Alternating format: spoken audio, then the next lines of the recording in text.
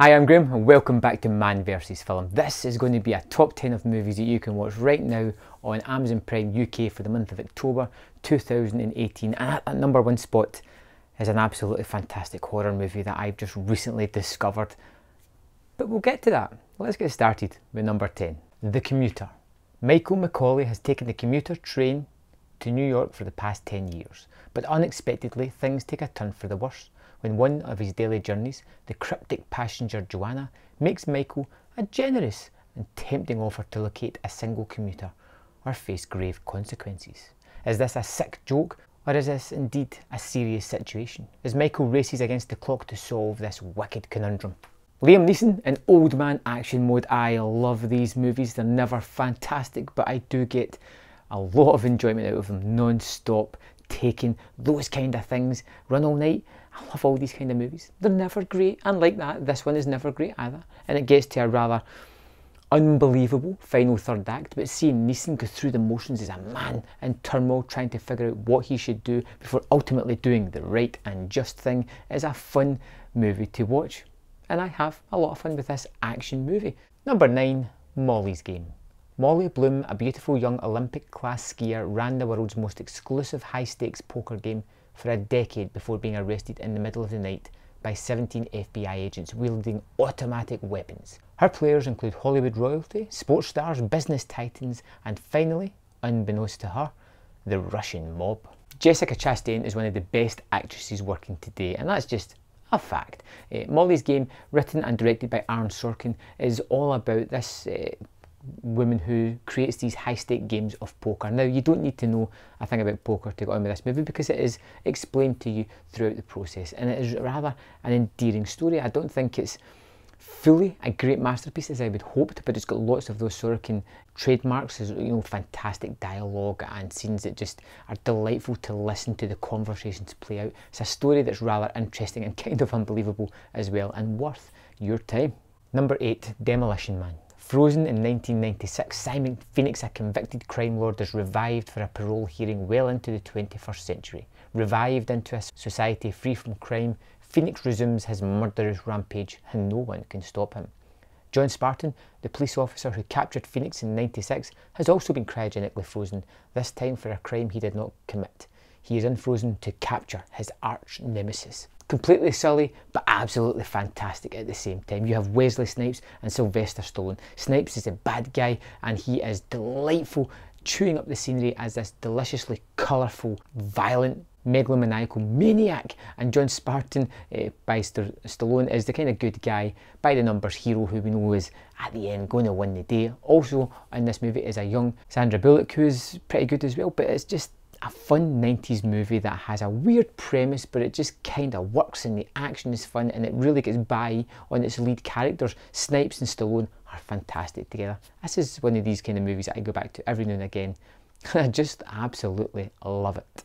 Number 7 Suicide Squad. A team of the world's most dangerous incarcerated supervillains provide them with the most powerful arsenal at the government's disposal and send them off on a mission to defeat an enigmatic, insuperable entity. Suicide Squad. I saw it at the cinema. I kind of liked it. I didn't despise it like everybody else. I felt the movie had some flaws. I wasn't really engaged with the characters. We get several introductions to each character, but it has this jukebox of greatest hit songs that play throughout the movie. It's got some fun action set pieces, and it's definitely a switch off the brain, get out the popcorn, and just enjoy the heck out of this anti superhero movie. Number six, The One. There is not one universe, but there are many, a multiverse. Supposing you are just one person, there are many other versions of you on these other universes. There are ways to travel, but only the police MVA can travel for procedures. Gabriel Yulaw is a former agent who killed another version of himself in self-defense, and it made the other versions of him stronger, which sent him on a spree to kill all of his various personalities throughout the multiverse, to become the one. Jet Li made a, a few Americanized movies uh, in the early 2000s. The one was one of them. I hadn't seen it since it first came out, and I went back to it remembering some dodgy CGI, um, Jason Statham with hair, which is never a good thing, and uh, not really too much memorable other than that, but I found a movie that I did enjoy. The action set pieces are fun. I really do like Jet Li as an actor. I find he's got that, that X factor, that charisma that I do like to watch.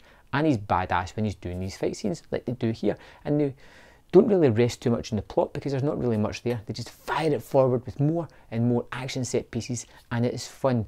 And for 90 minutes, you can just switch off and enjoy a great action movie. Number five, shoot 'em up. A pregnant woman runs by, pursued by a man with a gun. With reluctance, the man at the bus stop rescues her and assists with the baby's delivery, while additional pursuers fire at them, including the gang's particularly nasty leader, an intuitive man named Hertz. Our hero, known only as Smith, determines to save the child and find out why Hertz wants the baby dead. Someone had this crazy idea of just making a movie one big long shootout that's what shoot 'em up is and it doesn't try to hide the fact that that's what it is. It doesn't try to pull the wool over your eyes by pretending to have really rich characters or a really intense storyline. It doesn't matter. It's about these two guys facing off in a hail of bullets it is action centric and I love it because it just aims for one thing and it hits the bullseye every single time. Shoot 'em up is a tremendous if kind of empty piece of action cinema. Number four this is the end Six Los Angeles celebrities are stuck in James Franco's house after a series of devastating events just destroyed the city. Inside, the group would not only have to face with the apocalypse, but with themselves.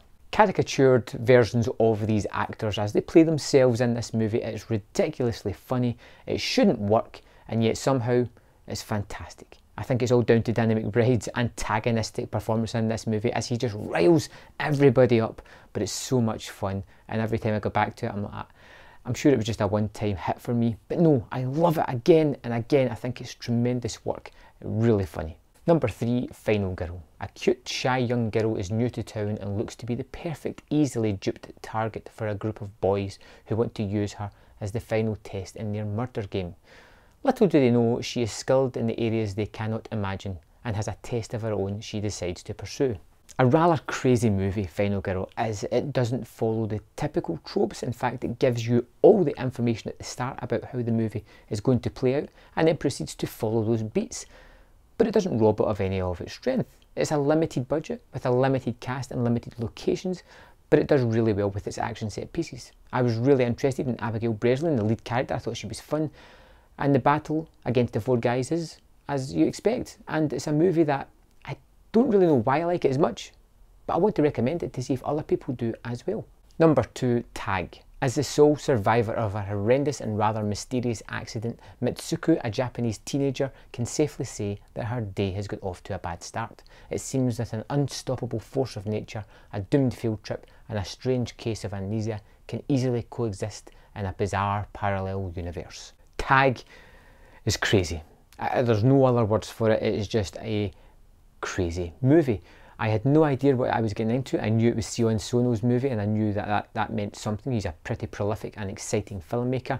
And within the first five minutes of this, it had taken away any preconceptions I had. I had literally no idea where it could go and how it was going to evolve the story after the five minute mark because something so crazy, so practical effect heavy and just fantastic that I don't want to spoil it for you happens within the first five minutes of this movie and it just gets stranger from there.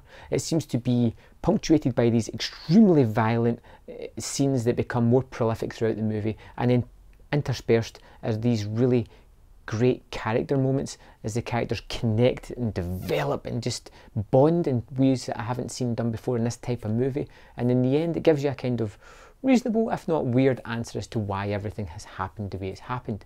If you like your Asian crazy cinema, Tag is definitely going to tick all the boxes that you're looking for.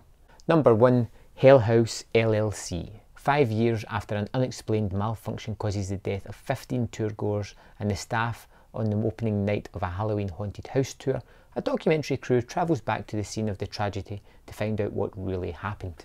Here we have it, the movie I promised at the start of this video. Hell House LLC came out in 2015. It's been about, I've seen the cover several times and I finally clicked on it. It is a found footage movie which, you know, makes you roll your eyes. It's kind of low budget. Again, it's another warning sign. And it's a story about um, a haunted house. They have these cameras set up. There is, seems to be a, bad history to this house that they've set up the haunted house in. And it is a very familiar story. But for all that it does that's familiar and tropey, it does it fantastically well. This is a movie that gives you really good characters to latch onto and a terrific sense of atmosphere that has the hairs in the back of the neck standing up. You put out the lights, put this movie on, turn the volume up, and it will creep you the hell out, especially in the month of October. I think this is a must watch and I really want to know what you think of this. So come back, let me know in the comment box your thoughts on this film particularly. So there we have my 10 suggestions. I'd love to know if there's anything that I missed out or something that you would suggest. Let me know in the comment box below if there's anything you would like to see on my list or what you thought about it. Don't forget to give it a thumbs up and I'll see you next time on Man vs Film.